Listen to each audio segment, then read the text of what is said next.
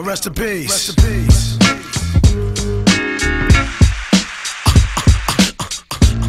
You wanna mess with this? One of the best yet. We've got it.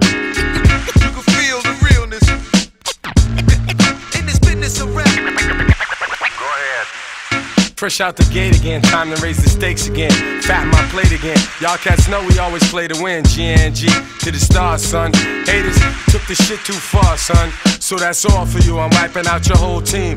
Ow, splatter your dreams with lyrics to shatter your schemes. The badder you seem, the more lies you tell. The more lies you sound. Now by surprise you fell into my death trap, right into my clutches. Stupid, you know the God must bless every single mic he touches. I've suffered just so I can return harder.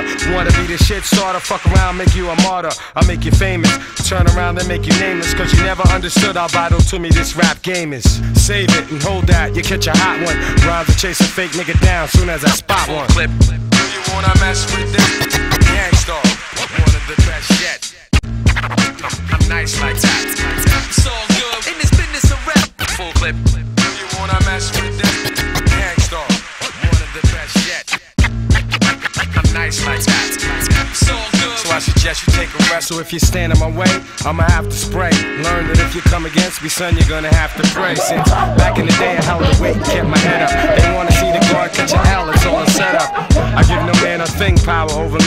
These niggas so jealous and looking sour over me? I'm G. Yo, serdadu busuk tinggalkan jejak sepatu boots. Dalam perang gerilya bawa tanah sampai ke Hollywood. Menjadi vanilla ice berikutnya atau Clint Eastwood Banyak yang maksud dalam film hit yang bisa ikut.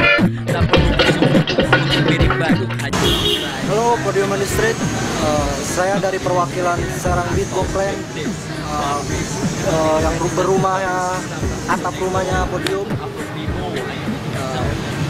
Sebagai pengenal awal beatbox untuk pod- podium. Ke podium itu da- awalnya dari Kang Rahmat. Dia juga beberapa founder dari Serang Beatbox. Eh, dia bercerita katanya ada bagian hip hop yang mengajak katanya gabung saja untuk ke beatbox eh untuk ke hip hop itu podium.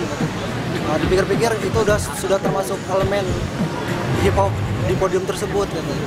oke kita masuk di podium eh, pas pertama kenal orangnya sangat asik-asik bercandaannya juga seru bikin ngangenin untuk segala tongkrongan uh, welcome terhadap apa yang kita luangkan kre- kreativitas dari beatbox itu sendiri maupun semuanya.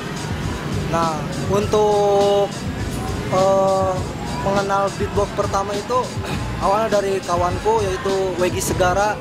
Dia juga founder juga. Uh, saya pribadi mengenal beatbox itu dari Kang Wegi. Dia itu pertama nge-beatbox bawain bondan. Nah, setelah itu dia ngajakin saya untuk belajar otodidak beatbox. Nah, dari situ saya mengenal lebih banyak lagi tentang beatbox, tentang dasar, pattern dan lain-lain hingga tergabungnya komunitas tersebut yaitu Serang Beatbox dan Podium sebagai naungan atap rumahnya.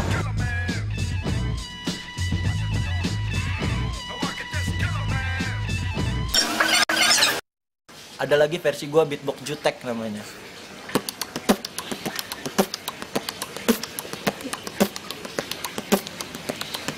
Udah oke.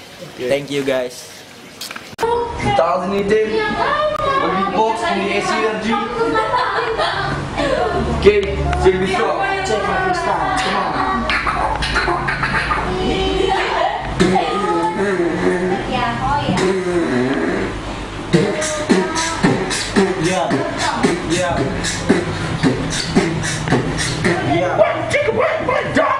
Oh, untuk harapan beatbox itu sendiri eh, sekarang untuk tahun 2015 ini banyak beatboxer Indonesia yang eh, sang- sa- apa peningkatan beatbox itu sangat drastis dari tahun-tahun sebelumnya. Nah, dari Serang Beatbox ini ayolah kita jangan mau kalah dengan beatboxer lain bukan berarti kita saling saling sikut dan apa luangkan kreativitas Anda saling berimajinasi dalam pattern-pattern pattern-pattern yang Anda buat beatbox keren.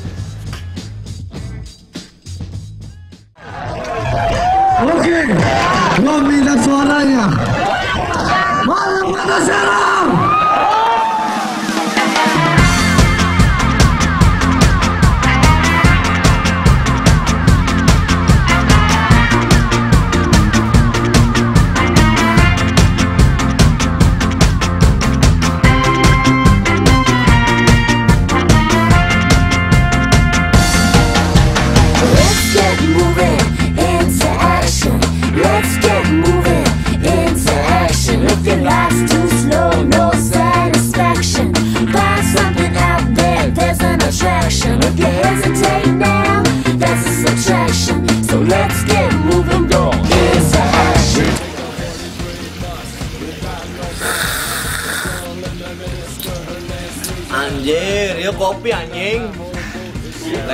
Ginseng gitu teh.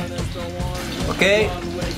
Nah, sekitar podium eh, komunitas hip hop eh, Serang City di mana gua dibesarin di podium.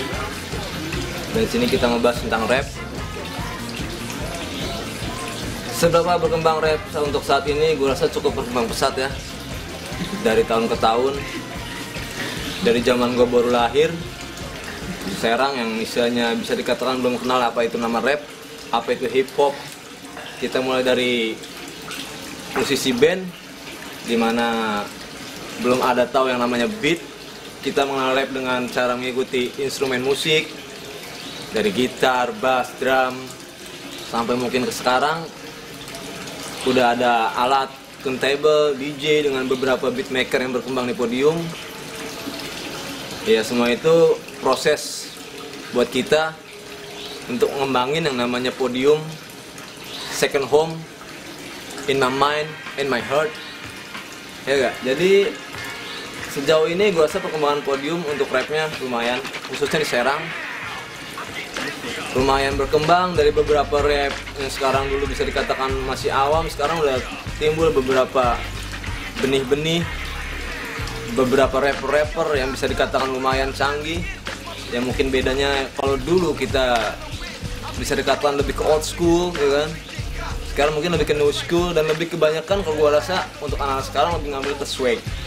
Swag yang berarti bukan single Wallace anti galau ya kan? Swag itu style with little a gangster. Jadi rapper bentar gua ngopi dulu ya biar enak ya gak oke lanjut. Untuk sekarang gue rasa cukup berkembang banyak rapper dan itu suatu kebanggaan buat podium sendiri. Karena kenapa? Dengan adanya beberapa rapper-rapper yang muncul dengan sendirinya secara langsung ini membangun untuk kota kita sendiri. Di mana orang bisa nilai bahwa Serang bisa. Serang punya hip hop, Serang punya rapper, Serang punya beatbox, Serang punya DJing, Serang punya beatbox, Serang punya beakers untuk saat ini dan semoga ke depannya semua rapper-rapper bisa menjadi lebih baik, bisa mungkin go to inter lokal ya kan, nggak cuma di lokal indie, bisa main di luar kota ataupun bisa sampai diundang di luar negara kita.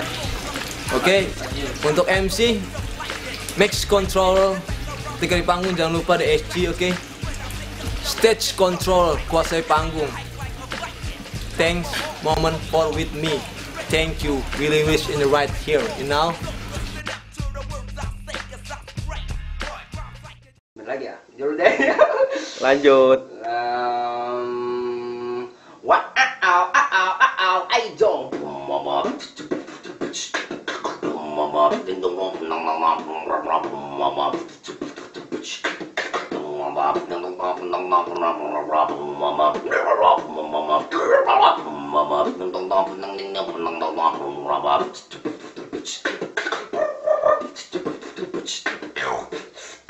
Dadah. Stop. Dadah. Enggak.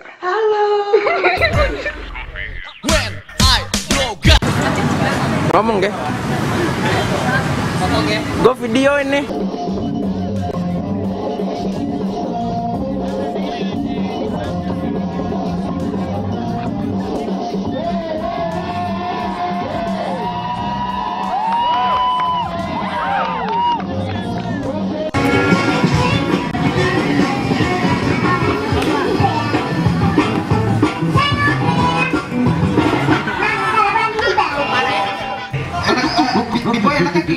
terima kasih. Oke, tol apa gimana?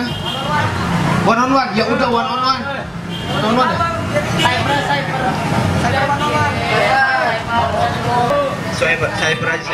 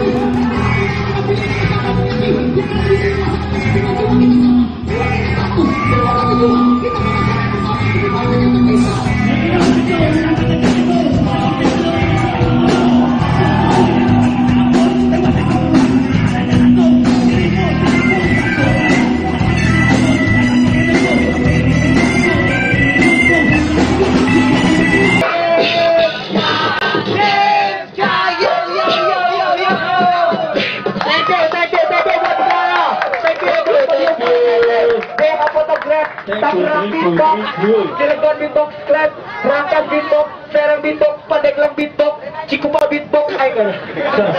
14.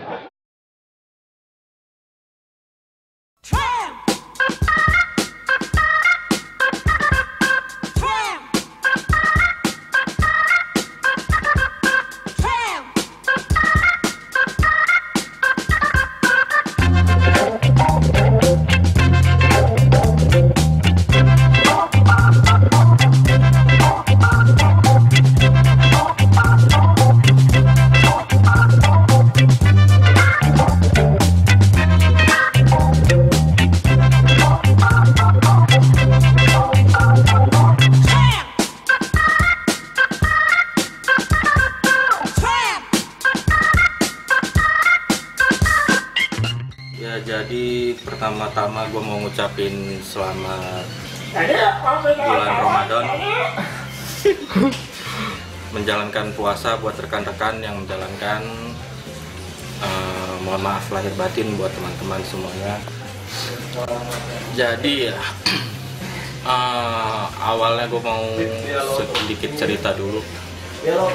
Gue di sini lagi mudik mudik ke Serang sekaligus silaturahmi buat sama teman-teman buat podium on the street hip hop eh, rapper buat anak-anak beatbox DJ eh, graffiti asal mulanya sih bisa dibilang kalau gua di bisa dibilang di podium ini kalau naik haji apa umroh gelombang kedua lah, kloter kedua. Jadi belum terlalu tahu pastinya seperti apa. Cuman di sini gue juga mau ngucapin uh, makasih buat anak-anak Borobudur Street, United One, mereka yang terlibat asal mulanya b-boy hip hop di kota Serang. Awalnya gua itu bisa dibilang di atas gue lagi ada Romi, Pandu dan teman-teman yang lainnya. Gue pun cukup uh, takjub uh, buat anak-anak hip hop Serang sekarang. Kalau dulu mungkin kami agak susah dari segi karena media waktu itu agak masih belum terlalu masih kampungan lah bisa dibilang. Jadi untuk searching di internet atau apa kami kurang jadi kami sebisa mungkin memaksimalkan b-boy itu apa dari situ seperti apa style seperti apa. Mungkin lebih agak ngotot kerja kerasnya. Tapi positifnya sih positifnya sih buat anak-anak sekarang lebih kreatif. Skillnya pun bikin gua bener-bener geleng-geleng kepala. Jadi gua pun sekarang domisili sementara ini di Bali. Gua lagi pulang ke Serang silaturahmi ketemu dengan rekan-rekan semuanya. Cukup bikin buat jadi kenangan buat gua nanti buat gua balik ke sana. Jujur dan gua pun bangga bawa bendera Serang podium Mode Street buat perkenalin di Bali sana. Yang menurut gue sih anak-anak Serang nggak kalah lah. Kreatifnya skill individunya masih bisa diadu. Dulu pernah kita ngikutin kompetisi b-boy di Lebak Bulus Point Square. Itu subuh-subuh kita naik kereta. Apain? naik kereta bang di situ sampai di Lebak Bulus susahnya kayak sampai kita dihantui sama pencopet di kereta. Ini ketinggalan pulangnya pun mesti jalan kaki. Alhamdulillah nggak menang. Tapi tapi buat kenangan sama teman-teman semuanya itu nggak bakal dilupain kita juga kerangkas pro- prosesnya seperti apa nyetrit memperkenalkan waktu itu di Rangkas belum ada b-boy. Jadi di situ kita main di alun-alun alun-alun kota Rangkas. Alhamdulillah kita kayak topeng monyet di situ. Jadi karena belum ada b-boy di situ jadi warga Rangkas pun sepertinya antusias gitu. Sampai bisa dibilang kita ngamen lah di situ. Semenjak situ awalnya kita main situ mulailah di Rangkas itu ada dikenal yang namanya big dance itu seperti apa. Kurang lebih sih seperti itulah kenangan ininya. Kalau poker squad kita sih ah, beda-beda ya. Ma- sempat ngelewatin beberapa kali pergantian nama. Kalau di soal poker squad pernah dulu New Kids. Kita awal dulu di New Kids namanya terus dirubah jadi poker squad. Kalau poker squad kenapa harus poker squad? Gua sendiri juga belum terlalu nggak terlalu paham karena itu ke- kesepakatan dari teman-teman podium yang lain. Karena gua per dari tanggal eh per tahun 2000 gue sendiri juga udah vakum di boy karena gua beberapa kali insiden tangan patah gitu. jadi gua belum kurang tahu soal kenapa poker squad. Yang penting sih podium breakers mungkin pesan terakhirnya makin solid buat teman-teman semuanya buat rekan-rekan semuanya makin afdol puasanya Bang Musanya? dan hmm? Bang Musanya? Vitamin. buat Mang Musa iya saya kangen sama Bang Musa bolehlah nanti dibawa buat ke sana ya sama jembatan-jembatannya saya bawa nanti. selamat berbuka puasa olehkan dulu bayar ya 35.000 saja thank you 早上好